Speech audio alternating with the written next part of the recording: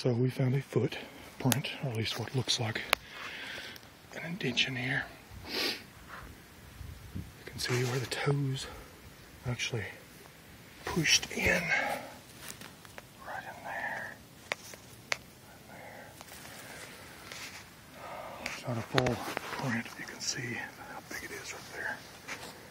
But the end of that foot is far larger than mine, and I wear 12.